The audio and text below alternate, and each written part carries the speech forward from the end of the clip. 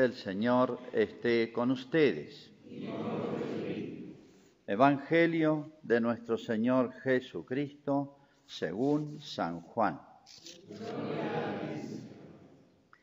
Jesús dijo, mis ovejas escuchan mi voz, yo las conozco y ellas me siguen. Yo les doy vida eterna, ellas no perecerán jamás y nadie las arrebatará de mis manos. Mi Padre que me las ha dado es superior a todos y nadie puede arrebatar nada de las manos de mi Padre. El Padre y yo somos una sola cosa. Es palabra del Señor.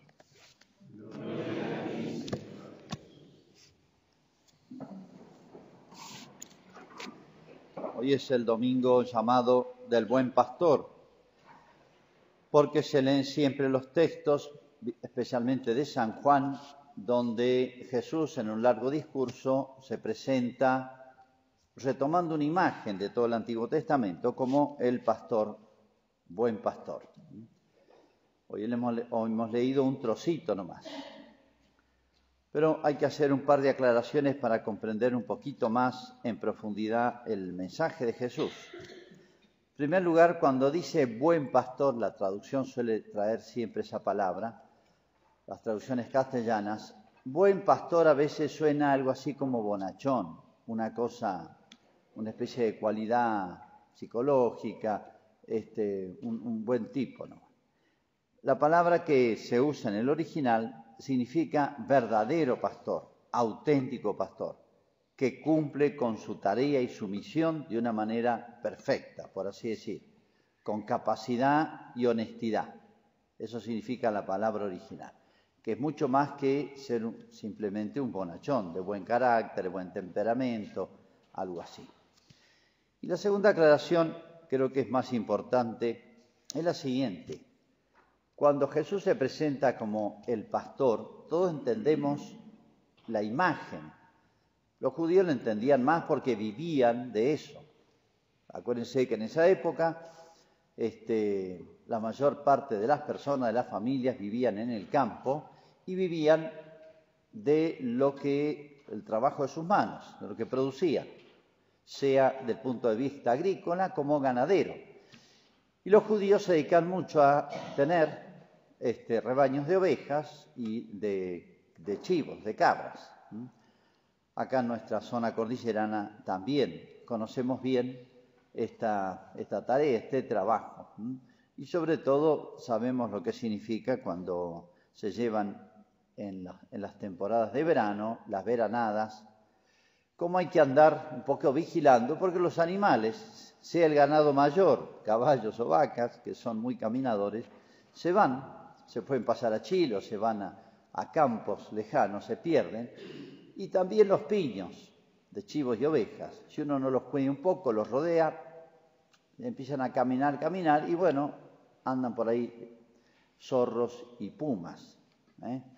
Tema bastante hablado entre nosotros. Bueno, entonces todo lo que significa el ser humano para estos animales, llevarlos, el arreo, cuidarlos, llevarlos donde hay pastos, este, donde hay vegas, donde hay, buena agua, etcétera, todo eso estaría el pastor.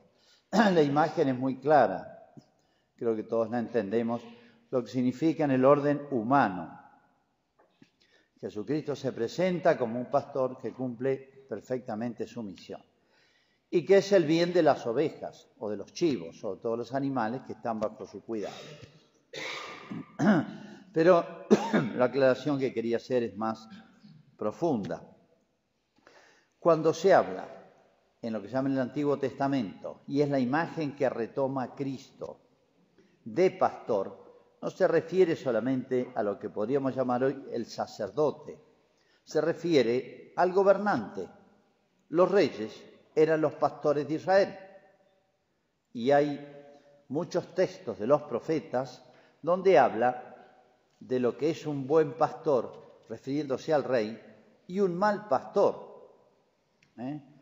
Entonces, ¿qué nos quiere decir Jesús? Que la sociedad, lo voy a traducir en términos nuestros, modernos, la sociedad la sociedad pequeña, un pueblo, una ciudad grande, una provincia, una nación, y esto vale para todas, está eh, cuidada, o mejor dicho, su bien común está bajo el cuidado de dos autoridades, de dos autoridades. Y atiendan bien que digo autoridades y no poderes. Hoy se usa la palabra poder y no autoridad. Son dos cosas muy distintas. El poder es la capacidad de hacer algo, esté bien o mal. Yo puedo tener poder si tengo una ametralladora y matar a alguien. Está mal. Pero tengo el poder, sí, lo tengo. El otro está desarmado. Autoridad es otra cosa. La autoridad significa la capacidad de una persona, la responsabilidad de una persona de hacer bien en su campo. Un médico de curar, la fuerza de seguridad de proteger, el sacerdote de cumplir su misión y el juez de hacer justicia y el legislador de hacer buenas leyes. Eso es autoridad. Puede tener el poder, uno dice poder ejecutivo, poder legislativo. La palabra ya lleva muchos siglos pero refleja todo una mentalidad que siglos atrás ha distorsionado estas funciones tan nobles. No hay que hablar de poder, hay que hablar de autoridad. Papá tiene poder en la casa con los chicos, sí, pero es distinto tener autoridad. solemos decir autoridad moral para educar. Bueno, la sociedad, según el plan de Dios, está dividida. El bien de la sociedad está dividido en dos autoridades, dos funciones, dos misiones, dos tareas. La de la autoridad política, llamémosle, sea legislativa, ejecutiva, lo que sea, y acá incluyo la, justicia, incluyo las fuerzas de seguridad, todo, encargadas del bien común temporal se llama.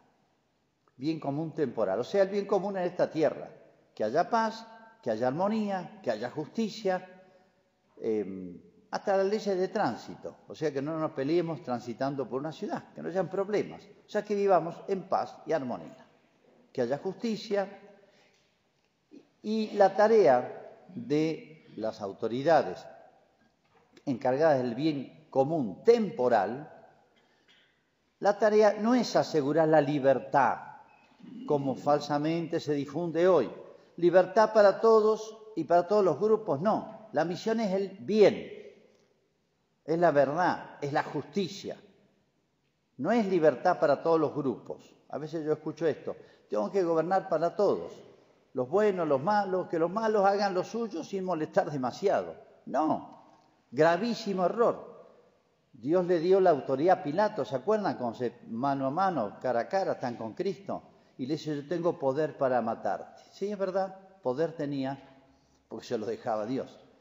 Pero acordate, le dice Jesús, que eso te dieron de lo alto. O sea, tener una responsabilidad ante Dios. Vas a rendir cuentas si lo ejercéis bien o mal. Entonces, la misión de la autoridad política, social, y lo digo muy en referencia a este tiempo, este, lo que queda del año que estamos tanto en, se está en campaña, como se dice, es asegurar el bien.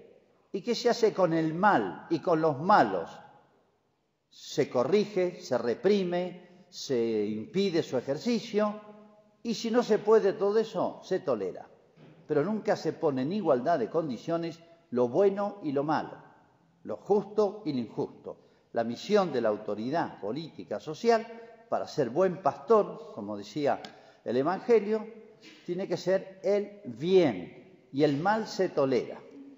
Con lo cual, nuestras autoridades o todos los que influyen en la sociedad, y no solamente los políticos, los comunicadores, los empresarios, los comerciantes, los profesionales, los educadores, los papás en la casa, papá y mamá, tienen que tener muy claro lo que es el bien y el mal.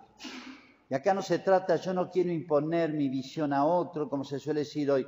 Mire, las cosas son como son. Las cosas son como son. Yo debo conocerla. El bien existe, la justicia existe, lo verdadero existe. Yo tengo que hacer un esfuerzo por conocerlas defenderlas, difundirlas, profesarlas, imitarlas, seguirlas. Pero las cosas son como son. Acá no se trata de mi parecer, tu parecer, porque si afirmamos eso falso, nadie tiene derecho a decirle nada a nadie y la sociedad estalla. Pero bueno, hoy no voy a hablar de política, hoy es el tiempito que me queda, voy a hablar del sacerdocio, porque hoy es el día del buen pastor en que la Iglesia Universal se dedica a rezar por los sacerdotes. Pero la otra autoridad en la sociedad es la del sacerdote. No es un poder el de la Iglesia, no es un poder el del sacerdote. Por más que el sacerdote tenga potestad para consagrar y tiene potestad para perdonar los pecados. Y ahí se puede usar la palabra potestad. Porque cuando yo digo esto es mi cuerpo, el pan se transforma milagrosamente. Un milagro invisible, pero real. Y ahí sí tengo potestad obviamente las tengo que usar bien.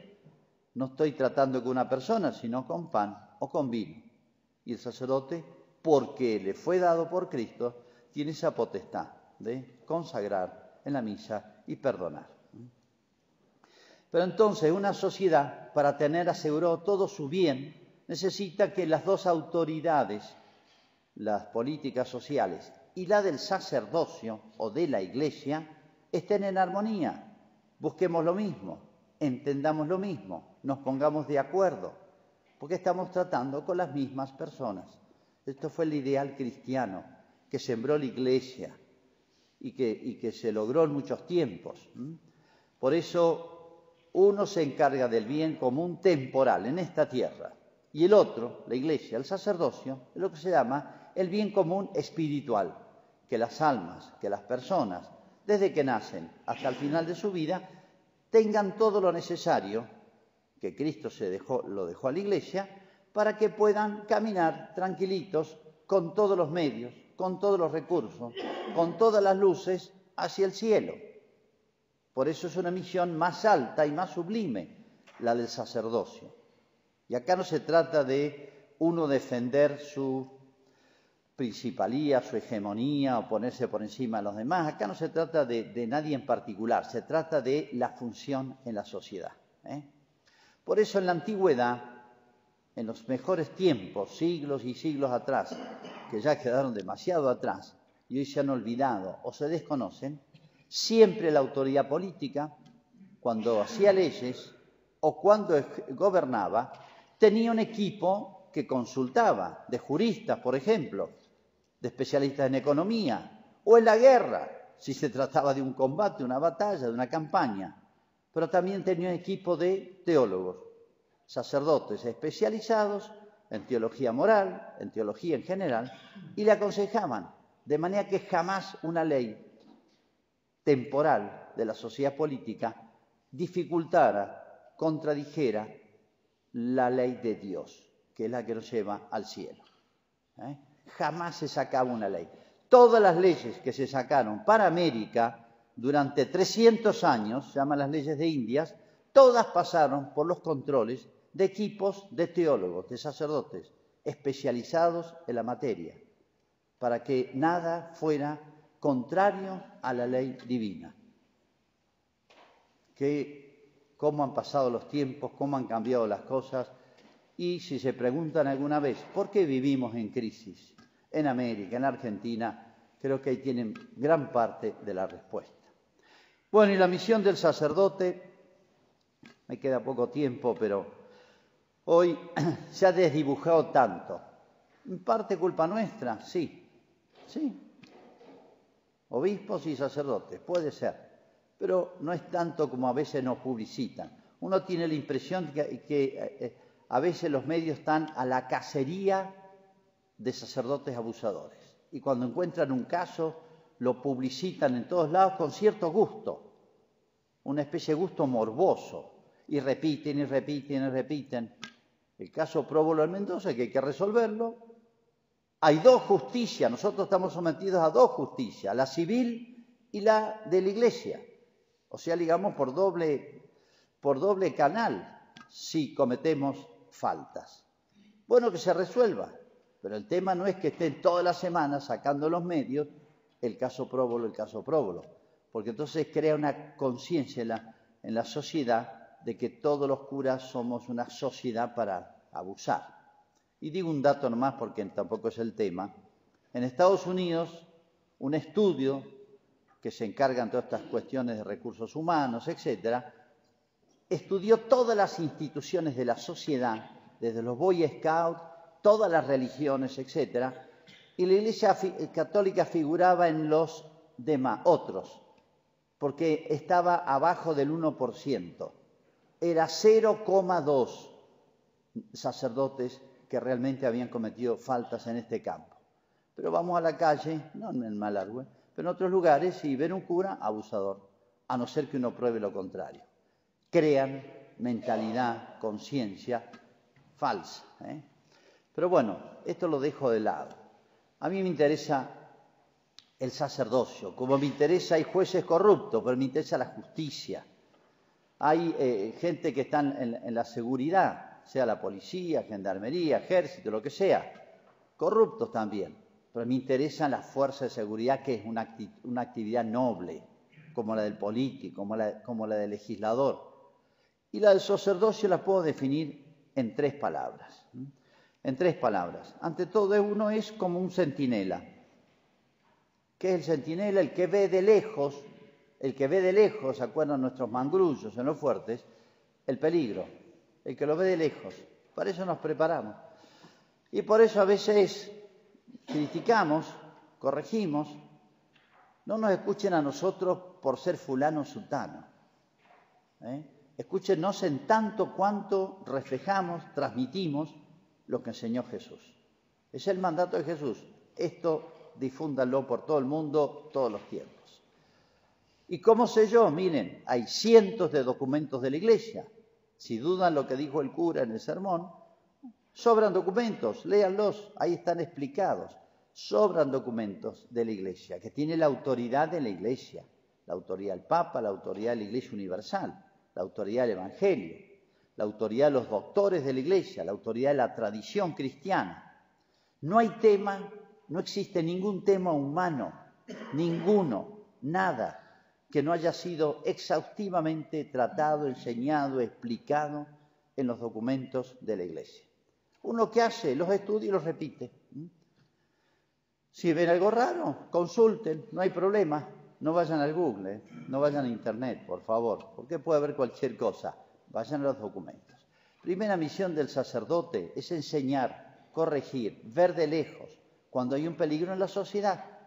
No peligro porque el, el plan económico no es correcto, no es mi tema, no es nuestro tema, pero sí cuando hay cosas que desvían al hombre del camino de la eternidad, del camino del cielo. Y ahí tenemos no solamente la autoridad, sino la gravísima responsabilidad de enseñar, advertir, iluminar, marcar el camino, corregir. Segundo, el sacerdote es defensor. Sentinela decía primero, después defensor. ¿Defensor de qué? Del bien común, espiritual. Esa es la otra tarea nuestra. Defender contra todos los peligros, contra todas las tentaciones, sean tentaciones individuales sean tentaciones ambientales. ¿Cómo pelea uno hoy? Y nos van a escuchar siempre defendiendo la familia. Ya uno no sabe, es como si hubiera explotado un dique y uno no sabe por dónde parar la avalancha. Porque, bueno, primero el divorcio, después qué sé yo. Bueno, hay tantos temas vinculados a la familia que están eh, no solamente cuestionados, sino ya ampliamente desintegrados en la sociedad. Y cuando uno pelea por eso y vuelve a esos temas, es porque, ¿qué quiere hacer? Defender a nuestra sociedad. Esa es la misión nuestra, transmitida por Cristo. Nos puso esa carga, nos puso esa responsabilidad a toda la iglesia. Y en tercer lugar, y no es lo menos importante, sino lo más, es mediador. ¿Entre quién? Entre Dios y los hombres, que es la más alta y la más sublime de las tareas. ¿Quién une el cielo con la tierra sino Jesús? No se nos ha dado otro mediador entre Dios y los hombres que Cristo Jesús, dice San Pablo. ¿Qué significa esta mediación? Bueno, todo lo que lo de los hombres va a Dios a través del sacerdote, que en realidad uno está haciendo la función de Cristo. Y lo que de Dios quiso transmitir a los hombres, de nuevo, a través de Cristo, a través del sacerdote. Esto lo podría explicitar en muchísimos otros puntos, pero bueno, creo que en general ustedes me entienden. Por eso voy a poner dos testimonios muy significativos de lo que significa el sacerdote. Me acuerdo años atrás, visitaba una veranada y una familia muy sencilla, no sé si tenían terminado séptimo grado, me dice esto, Padre, qué bendición que un sacerdote nos visite acá, en este lugar, donde tal vez sea la primera vez que iba un sacerdote, allá en la cordillera, donde había que llegar a caballo. Padre, qué bendición que un sacerdote nos visite. Y otra más, también lo escuché de un hombre criado en nuestras sierras. Se me acercó una persona ya mayor y me dijo esto, Padre, perdone que me acerque a usted y que lo moleste, pero mis padres, o mi madre, no me acuerdo qué me dijo, me decían de que cada vez que yo veo a un sacerdote me acerque a pedirle consejo, porque ellos están puestos para hacernos bien al alma. También una persona sencilla, sin mucho estudio, sabe más que nuestros diputados y senadores esa persona, ¿eh?